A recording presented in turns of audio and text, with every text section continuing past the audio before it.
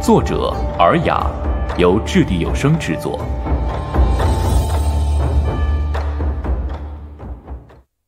第二百四十七集，阴雨天。林业火喷了一辈子的包子，惊骇的张着嘴。邹良嘴角微微的动了动，死蠢！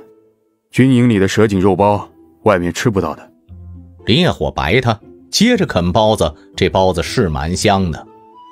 嗯，你来干嘛？你不是在军营吗？来拿点东西。自己来。你不是大将军吗？过几天就出征了。林业火微微皱眉，歪着头看他。出征？你要去漠北打仗啊？不是，只是把军营往外围挪。开封附近人太多了。哦。林业火点头，见邹良还站在窗口没走，不解的看他。给你点东西。哎，你又要干什么坏事？邹良突然笑了，他笑着看林业火，林业火惊得差点又被包子噎着了。邹良可不常笑，偶尔挑挑嘴角也是冷笑，要是嘲笑。今天不知道是不是心情特别好，竟然咧着嘴笑。邹良从身后提出一样东西来，放到了林业火的被子上。林业火低头一看，就见是一只肥嘟嘟的小狗仔。林业火一惊，张大了嘴，双眼移不开呀。他是行家，这狗虽然现在还刚刚断奶的样子，但是精神好，品相超好。另外，那小狗看着特拽特神奇，也不叫，歪着头看林业火。军营的一只大狗跟狼生的，可能狼味太重，别的狗都欺负它，不适合养在军营里。前几天断奶了，可以吃肉了。这样啊？你要吗？林业火伸手轻轻揉了揉那只小胖狗，这狗似乎还挺享受的，趴着，依旧扭着头瞄他，面无表情的样子。林业火突然笑出了声：“这尼玛是邹良他兄弟吧？表情真像。”“笑什么？”“ 跟你这么像呢。”林业火抱着小狗忍不住笑，邹良嘴角抽了抽，就要抢回来。“不要还我。”哎，要要的要的，我我的了啊！林业火赶紧将小狗藏起来。邹良微微扬了扬眉。这时外头有官兵叫邹良，将军都准备好了。邹良点点头，转身走了。林业火抱着小狗趴在窗口看。邹良快步出了院子。他是左翼将军，估计是带兵去远点的地方驻扎了，回来拿点衣服。林业火正发呆，就感觉手上的包子被抢走了。低头看，小狗叼着他没吃完的半个包子。林业火托着下巴看着小狗吃包子，然后戳戳他的耳朵：“嗯，叫你什么好呢？嗯，对了，你怎么不叫啊？别的小狗可聒噪了。”小狗瞧瞧他。那根拖在身后的尾巴翘起来，晃了晃，继续吃包子，依然没有叫。林业火眯起眼睛，挑起两边嘴角，嘿嘿，就叫哑巴吧。林业火说完，摸了摸小狗的脑袋。小狗吃完了包子，斜着眼睛瞧着林业火。林业火揪住他一只耳朵，捏了捏。哎，你那是什么眼神啊？小狗突然转过身。抱住林业火的手，你不是还没吃饱吧？只是小狗没咬林业火，而是抱着他的手趴下，轻轻的舔了起来。林业火随即安静下来，感受着手心湿润又温柔的触感，轻轻叹了口气，摸了摸小狗的脑袋。我不开心的那么明显吗？门口。上了马的邹良扬起脸看了看阴沉沉的天色，发呆。将军，副将见他不走，就叫了他一声。邹良回过神，轻轻一甩马缰绳，走了。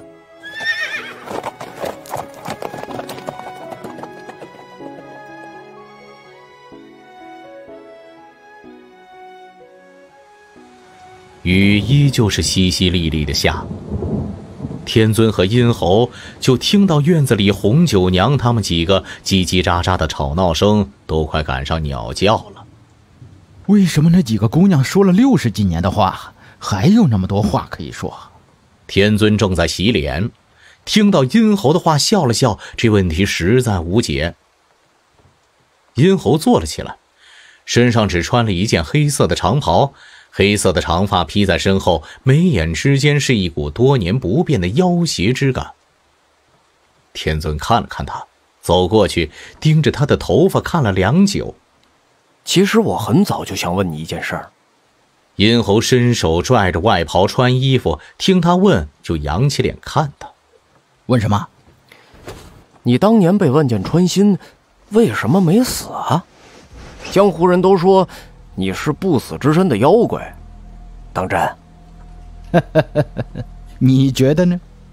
殷侯笑了，脸上的邪气更甚了几分。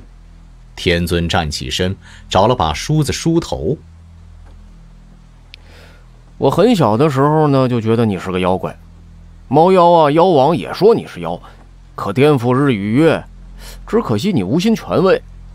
殷侯下床。整理好外袍，淡淡一笑，伸手轻轻撩起天尊身后一把银丝一样的长发。你才是妖，我是鬼。说完，殷侯拿根发带随便扎了头发，大摇大摆出去了。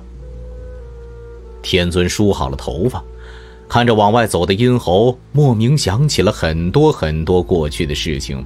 他已经很久没想起那时候的事了。果然，雨天容易让人回忆过去嘛。同样因为阴雨天而困惑的还有展昭。展昭醒过来的时候，白玉堂没在了，那半边床空荡荡的。展昭伸手摸了摸冰凉的枕头，发呆。今天天没亮，白玉堂就起来了。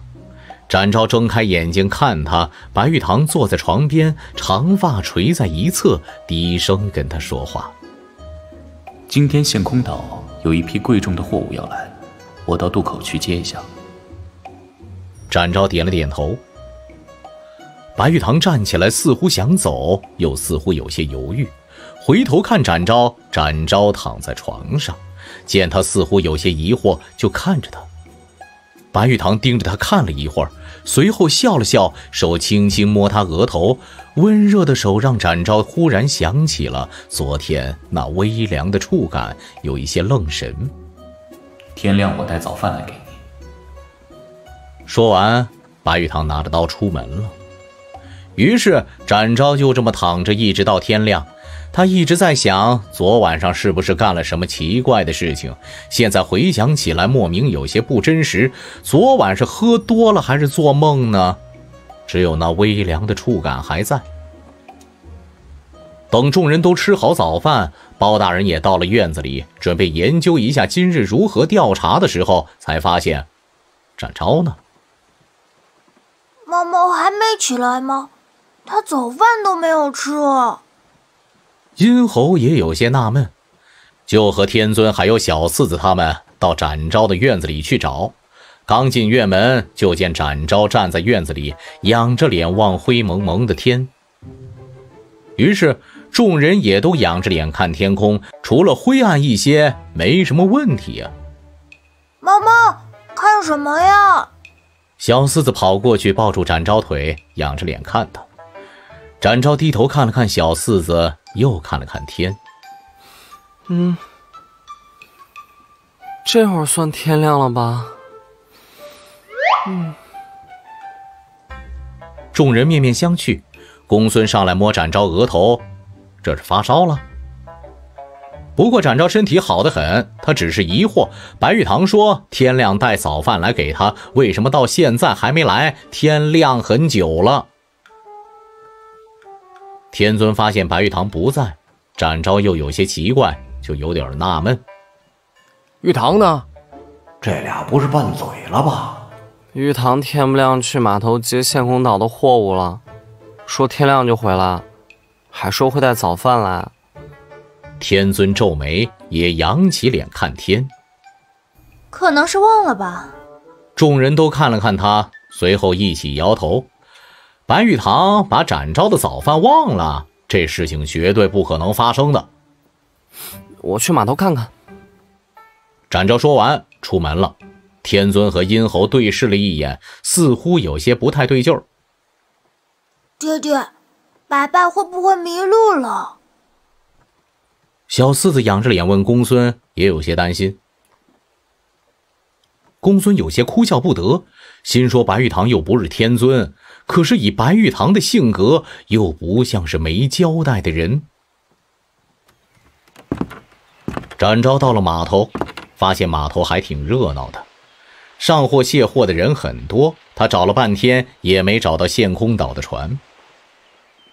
这时，几个码头干活的工人都认出了展昭，跟他打招呼：“展大人这么早就出来办案啊？大叔，你们什么时候来的？天不亮就来了呀。我们每天就干一个后半夜和一个上午，下午就没人卸货了。今早陷空岛的船来了吗？来了，来了，早走了。”天不亮，第一趟搬的就是陷空岛的货。那你们看见白玉堂了吗？五爷，没看见呢。陷空岛的人也找他呢，说是说好了他来接货的，不过没来，所以只好自己将货物运去筹庄了。回来之后，他们也问我们五爷有没有来，我们说没看见，他们就说可能忙着呢，就先回陷空岛去了。展昭此时脑袋空空，白玉堂竟然连码头都没到，那他去哪儿了？是什么货啊？送去哪里啊？都是绸缎，应该是送去绸庄的。大叔刚想指给展昭看，但是展昭已经不见了。嚯，展大人会飞呀！掷地有声，专注精品声音制作。